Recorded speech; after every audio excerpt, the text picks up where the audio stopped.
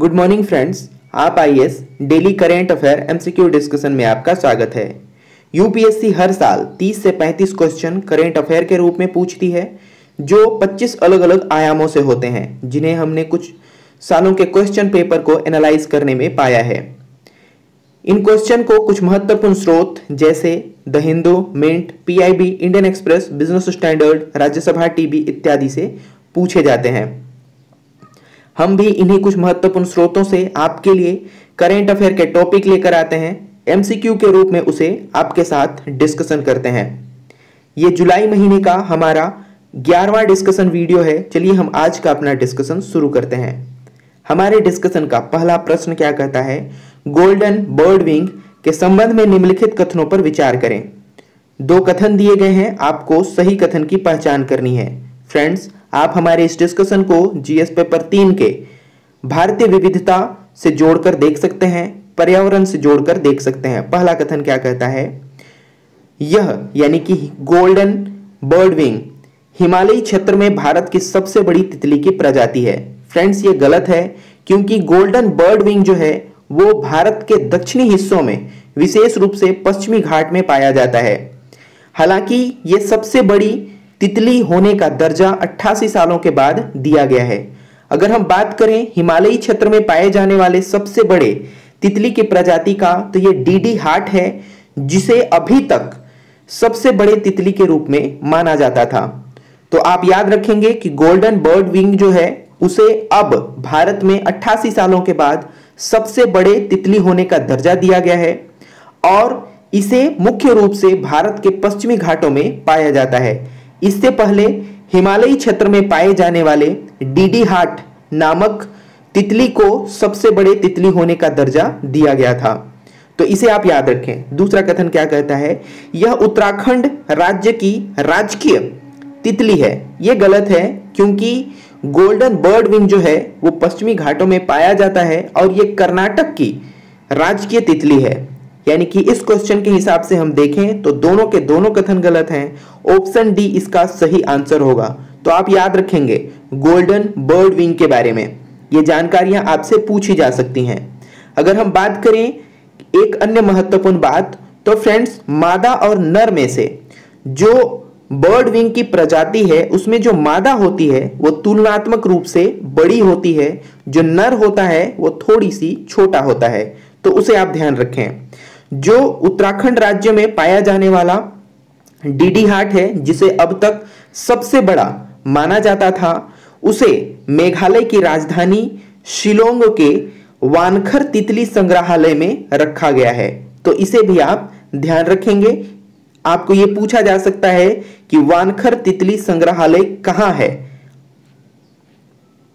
ये IUCN red list के अंतर्गत लीस्ट कंसर्न, यानी कि आपको टेंशन लेने की ज़रूरत नहीं है, इनकी संख्या पर्याप्त संख्या में है अभी, ऐसे सूचीबद्ध किया गया है। तो आप इसे ध्यान रखें। यह देखने में कुछ इस प्रकार की होती है, इसे आप देख सकते हैं।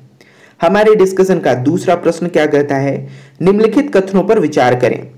दो जानकारियाँ दी गई हैं, आपको सही जानकारी की पहचान करनी है। पहला कथन क्या कहता है?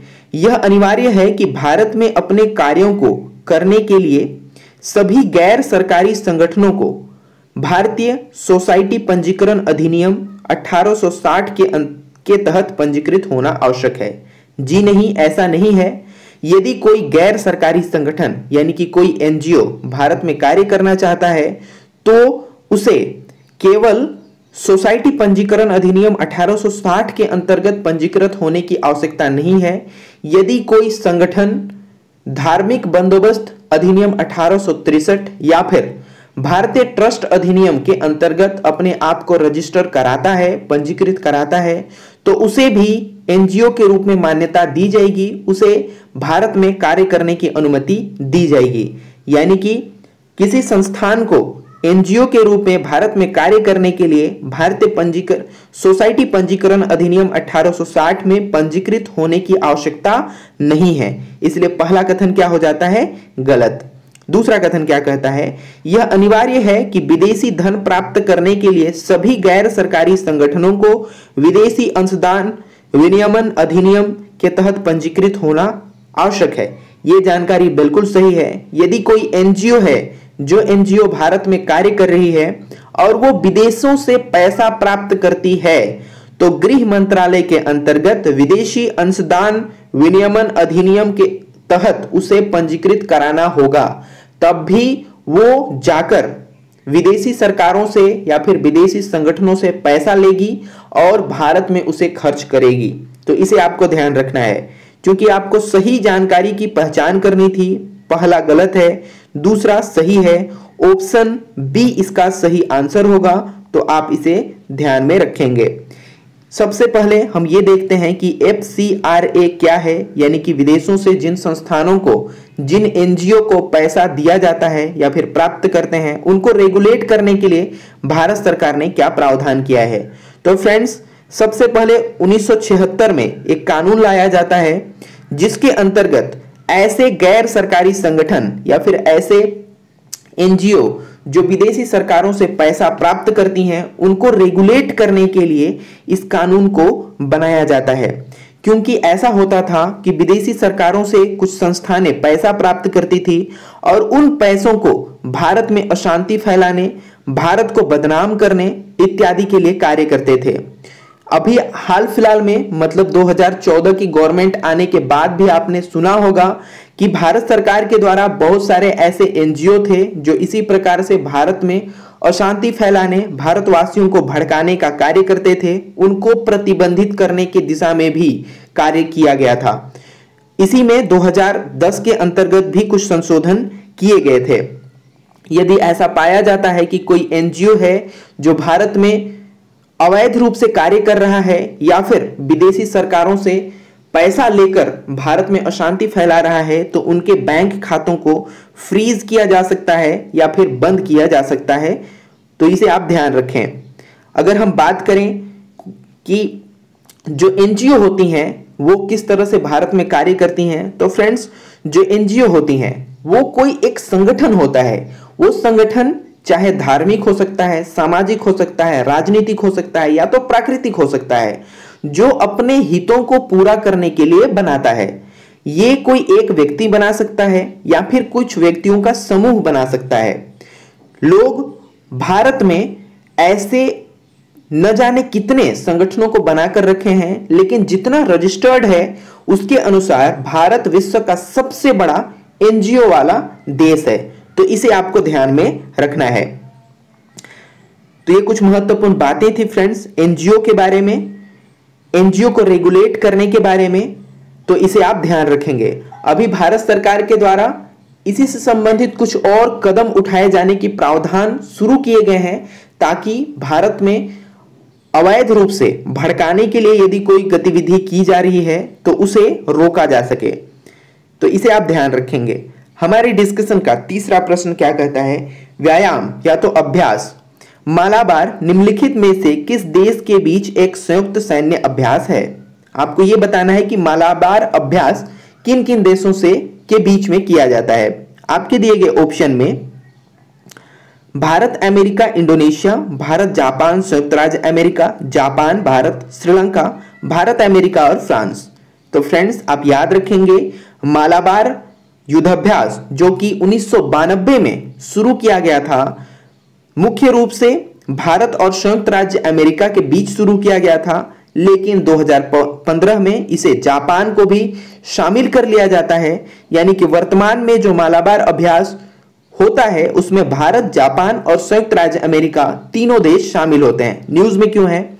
तो फ्रेंड्स, भारत सरकार के द्वारा इस बात को लेकर बात शुरू की गई है कि अब इस संगठन में, इस युद्ध अभ्यास में ऑस्ट्रेलिया को भी शामिल किया जाए, क्योंकि ऑस्ट्रेलिया लाइक माइंडेड कंट्री है। तो इसलिए यह काफ़ी महत्वपूर्ण है।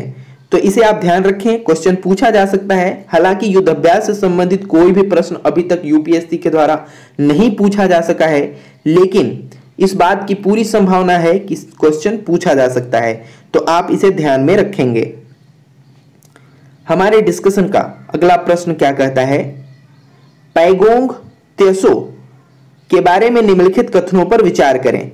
तीन कथन दिए गए हैं, आपको सही कथन की पहचान करनी है। पहला कथन कहता है, यह रामसार कन्वेंशन के तहत अंतरराष्ट्रीय महत्व महत्व के एक आर्द्र भूमि के रूप में पहचाना जाता है। जी नहीं, ये गलत है।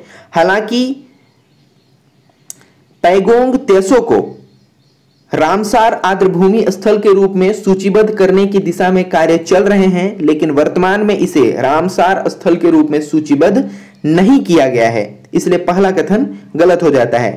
पैगोंग तेसो के बारे में दूसरा कथन क्या कहता है? यह वास्तविक नियंत्रण लेखा, रेखा, यानी कि एक्चुअल लाइन ऑफ़ कंट्रोल के वास्तविक रेखा पर स्थित है। यह बिल्कुल सही है चाइना के साथ जो एक्चुअल लाइन ऑफ़ कंट्रोल है, वहाँ पर ही ये स्थित है, इसलिए दूसरा कथन बिल्कुल सही है। आप इसे मैप के माध्यम से देखेंगे, आप आसानी से समझ लेंगे।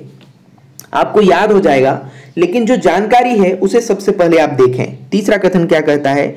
यह एक खारे पानी का झील है। यह आपको थोड़ा अलग लग सकता है कि यदि कोई ऐसा झील, जो जम्मू कश्मीर या फिर अब कहें वो लद्दाख में है और वो खारे पानी का है तो ये आपको चौंका सकता है। लेकिन आपको याद रखना है, ये खारे पानी का ही झील है। यानी कि इस क्वेश्चन के हिसाब से ऑप्शन बी इसका सही आंसर होगा। जो झील है, उसका निर्माण हिमालयी हलचल की वजह से हुआ था। एक दरार पड़ने के बाद इस झील का निर्माण हुआ था। यह काफ़ी लंबा है इस झील का लगभग 60 प्रतिशत हिस्सा वर्तमान में तिब्बत में है। ये एक खारे पानी का झील है। यहाँ पर खारा पानी है, इसका मतलब यहाँ पर ज़्यादातर जैव विविधता या फिर वनस्पति नहीं पाई जाएगी। लेकिन क्रिस्टीसियस यहाँ पर पाए जाते हैं, लेकिन पौधे इत्यादि कुछ भी यहाँ पर नहीं पाई जाती। मछली इत्यादि कुछ भी यहाँ पर नहीं पाई जाती। आप कह सकते हैं कि यहाँ पर जलीय जीवन लगभग शून्य है। जो रामसार स्थल है, उसे, उसके रूप में इसे सूचीबद्ध वर्तमान तक नहीं किया गया है। तो इसे आपको ध्यान रखना है, इस दिशा में कार्य चल रहा है। यदि इसे रामसार स्थल, जो भारत में वर्तमान में 36 हैं, उसके, उसमें से एक के रूप में इसे सूचीबद्ध किया जाता है तो ये एक ऐसा रामसार स्थल होगा जो अंतरदेशीय होगा, यानी कि ट्रांस बाउंड्री होगा किसी दो देशों के बीच। इसके कुछ हिस्सों को लेकर विवाद है, जो भारत, पाकिस्तान या फिर आप कहें भारत और तिब्बत या फिर चीन, जिस पर वर्तमान में तिब्बत के हिस्से पर चीन के द्वारा अपना क्लेम किया जाता है। तो इसे आप मैप के माध्यम से देखें, ये अक्साई चीन है, जो भारत का हिस्सा है और जिसे चीन के द्वारा 1962 के बाद से ही कंट्रोल किया जा रहा है। ये एक्चुअल लाइन ऑफ़ कंट्रोल है, इसे आप भी देख सकते हैं। और जो झील है, पैगोंग तेसो, ये यहाँ पर है, इसे आप देख सकते हैं। इसका कुछ हिस्सा जो है, वो भारत में है और कुछ हिस्सा अक्साई चीन के अंतर्गत है, जिसे चीन के द्वारा रेगुलेट किया जा रहा है। तो ये कुछ महत्वपूर्ण जानकारियाँ थी फ्रेंड्स। इसके बारे में क्योंकि इस, यह क्षेत्र काफ़ी न्यूज़ में है, आपसे इससे संबंधित कुछ भी पोस्ट क्वेश्चन पूछा जा सकता है। हालाँकि हमने इससे संबंधित जो भी प्रश्न पूछा जा सकता है, चाहे इस क्षेत्र की जैव विविधता से संबंधित हो, इस क्षेत्र में बहने वाली नदी से संबंधित हो, इस क्षेत्र की जो स्ट्रक्चर है उनसे संबंधित हो, हमने हर क्षेत्र को क्वेश्चन के रूप में आपसे डिस्कशन किया है। आप हमारे प्रीवियस वीडियोस या फिर जो हम पीडीएफ उपलब्ध कराते हैं, उसके माध्यम से आप देखकर रिवाइज कर सकते हैं। तो आप ध्यान रखें। हमारे डिस्कशन का पांचवा और अंतिम प्रश्न क्या कहता है? डब्ल्यूएचओ के बारे में निम्नलिखित में कौन सा कथन गलत है? चार कथन दिए गए हैं। आपको डब्ल्यूएचओ के बारे में गलत कथन की पहचान करनी है। पहला कहता है, यह अंतरराष्ट्रीय स्वास्थ्य, अंतरराष्ट्रीय सार्वजनिक स्वास्थ्य के लिए जिम्मेदार संयुक्त राष्ट्र की एक विशेष एजेंसी है। यह बिल्कुल सही है। ये संयुक्त राष्ट्र की एक विशेषीकृत, यानी कि स्पेशलाइज्ड एजेंसी के रूप में कार्य करती है। पूरे विश्व के स्वास्थ्य मामलों की देखरेख करती है। पहली जानकारी डब्ल्यू के बारे में बिल्कुल सही है। दूसरा कथन कहता है डब्ल्यू की स्थापना 7 अप्रैल 1948 को हुई थी, जिसे विश्व स्वास्थ्य दिवस के रूप में मनाया जाता है। यह ये जानकारी भी बिल्कुल सही है। डब्ल्यू इसकी स्थापना 1948 में की गई। उसके बाद ये 7 अप्रैल से अपना कार्य करना शुरू करता है और जिस दिन से इसने अपना कार्य करना शुरू किया, उसी दिन से इसे विश्व स्वास्थ्य दिवस के रूप में मनाया जाता है। और ये आज भी सात अप्रैल को विश्व स्वास्थ्य दिवस के रूप में मनाया जाता है। तो आप याद रखेंगे तीसरा कथन क्या कहता है? डब्ल्यू का मूल संगठन संयुक्त राष्ट्र आर्थिक और सामाजिक परिषद है। ये जानकारी भी बिल्कुल सही है। डब्ल्यूएचओ यानी कि वर्ल्ड हेल्थ ऑर्गेनाइजेशन इसका पहले जो नाम था, वो संयुक्त राष्ट्र आर्थिक और सामाजिक परिषद था। ये शुरू में इसी संगठन के नाम से कार्य करता था। आगे चलकर इसका नाम विश्व स्वास्थ्य संगठन कर दिया गया। चौथा कथन क्या कहता है? इसका मुख्यालय वॉशिंगटन डीसी जो यूएस के अंतर्गत है, संयुक्त राज्य अमेरिका में है, ऐसा बता रहा है। यह गलत है क्योंकि डब्ल्यू का जो हेडक्वार्टर है, जो मुख्यालय है, वो जनेवा, स्विट्जरलैंड में है। तो इसे आप ध्यान रखेंगे। तो डब्ल्यू से संबंधित कुछ महत्वपूर्ण जानकारियाँ थी। क्यों न्यूज़ में है यह बताने की आवश्यकता आपको नहीं है। डब्ल्यू से अब ट्रंप की घोषणा के बाद आधिकारिक तौर पर अलग हो गया है अमेरिका, इसलिए यह न्यूज़ में है। ऐसे भी महामारी के दौर में यह लगातार न्यूज़ में बना हुआ था। क्वेश्चन पूछा जा सकता है, आप ध्यान में रखेंगे। ये जो संगठन है, उसमें एक सौ चौरानबे देश हैं जो सदस्य हैं। वर्तमान में अब एक सौ तिरानबे हो गए हैं, क्योंकि संयुक्त राज्य अमेरिका इससे बाहर हो गया है। तो आपको यह भी याद रखना है, क्योंकि एक सदस्य के बाहर होने की वजह से यह न्यूज़ में है। इसलिए पूछा जा सकता है कि इसमें एक सौ तिरानबे देश हैं। 150 ऐसे देश हैं जहाँ पर इसके कार्यालय थे, लेकिन ये भी अब एक सौ उनचास हो जाएँगे, क्योंकि संयुक्त राज्य अमेरिका में जो इसका कार्यालय था, उसे हटा दिया जाएगा। हालाँकि डब्ल्यूएचओ ने इसकी घोषणा नहीं की है, लेकिन ट्रंप के द्वारा ऐसा कहा गया है कि आप यहाँ से वापस चली जाएँ। तो देखना होगा कि क्या होता है। छह क्षेत्रों में इसके क्षेत्रीय कार्यालय हैं, जहाँ से ये अपना कार्य करता है। ये एक अंतर सरकारी संगठन के रूप में कार्य करता है, जहाँ पर पूरे विश्व के जो अलग अलग देश हैं, वहाँ के स्वास्थ्य मंत्री जब कभी भी इसके अंतर्गत बैठक होती है या फिर कुछ महत्वपूर्ण मुद्दाओं पर चर्चा होती है तो जाते हैं और बात विचार करते हैं। तो इसे आप ध्यान रखें। तो फ्रेंड्स, ये हमारा आज का डिस्कशन था। हम आज के अपने डिस्कशन को यही रोकते हैं। अच्छा सॉरी, यहाँ पर कुछ और टॉपिक हैं जो मिसलिनियस हैं। उतनी महत्वपूर्ण नहीं है, लेकिन है। आप इसे देख लें। सबसे पहले open sky open sky agreement, ये क्या होता है? तो फ्रेंड्स, ओपन स्काई एग्रीमेंट किसी देश, किसी दो देशों के बीच या फिर किसी देश और किसी संगठन के बीच हो सकता है। इसके अंतर्गत जो हवाई सेवाएँ हैं, चाहे वो कार्गो सेवा हो या फिर यात्री सेवा हो, उसके आवागमन के लिए, अनुमति देने के लिए इस समझौते को किया जाता है। भारत वर्तमान में सार्क देशों के साथ ओपन स्काई एग्रीमेंट करता है। इसके अंतर्गत जो सार्क देश हैं, वहाँ की जो हवाई सेवाएँ हैं, वो भारत में अनियमित रूप से जितनी यात्राएँ करना चाहते हैं, कर सकते हैं। जितनी हवाई जहाजें भारत में आना चाहती हैं, आ सकती हैं। और भारत से भी इसी तरह से जितनी यात्राएँ या फिर हवाई जहाज़, चाहे वो यात्रियों को लेकर जाए या फिर कार्गो को लेकर जाए, वो आ जा सकती है। तो इसलिए ओपन स्काई एग्रीमेंट एक ऐसा समझौता है जो कार्गो या फिर यात्री सेवाओं के लिए अनियमित तौर पर आवागमन की अनुमति देता है। तो इसे आप ध्यान रखेंगे। न्यूज़ में क्यों है? कि यूएई, जो कि एक भारत समकक्ष लाइक माइंडेड कंट्री है, उसने कहा है कि हम भारत के साथ ओपन स्काई एग्रीमेंट करना चाहते हैं। तो इसलिए ये न्यूज़ में था। आप इसे ध्यान में रखेंगे, इतना महत्वपूर्ण नहीं है। ऐसा ही एक और टॉपिक है। ई कॉमर्स के अंतर्गत जितने भी पोर्टल के द्वारा खरीद बिक्री की जाती है, अब उपभोक्ता मामलों के मंत्रालय के द्वारा यह कहा गया है कि वैसे उत्पाद जिनको ऑनलाइन बेचा जाता है, उन पर वो वस्तु कहाँ से बनी हुई है, कहाँ उसका निर्माण हुआ है, उसे भी लिखा जाए। तो ये बात कहा गया है। तो इसलिए ये न्यूज़ में है। हालाँकि भारत में legal metrology packed commodities rule 2011 है। इसके अंतर्गत जो पैक्ड सामान होते हैं, उनको अपने पैक्ड वस्तु के बाहर जो कुछ चीज़ों को लिखना है। जैसे उसके अंदर कौन सा सामान है किन किन चीज़ों को मिलाकर बनाया गया है, निर्माण का महीना कौन सा है, किस साल में बनाया गया है उसकी एमआरपी यानी कि मैक्स मैक्सिमम रिटेल प्राइस क्या है, इन सबको लिखना आवश्यक है। लेकिन जल्द ही आप ये देखेंगे कि वो वस्तु कहाँ बनी है, या तो किस शहर में बनी है, किस देश में बनी है, उसको भी लिखा जाएगा। क्योंकि कॉमर्स मिनिस्ट्री के अंतर्गत जो उपभोक्ता मामलों के अंतर्गत जो कॉमर्स मिनिस्ट्री है, उसके द्वारा इस बात को नोटिफाई किया गया है। तो इसलिए ये न्यूज़ में था। तो ये कुछ महत्वपूर्ण बातें थी। तो ये खत्म हो गया। इसे आप याद रखें। हम आज के अपने डिस्कशन को यही रोकेंगे। फ्रेंड्स पीडीएफ के लिए आप जान रहे हैं कहाँ है। डिस्क्रिप्शन बॉक्स में जाएँ। वहाँ पर सीधा सीधा लिंक दिया गया है। आप उसे डाउनलोड कर लें। Thank you thank you very much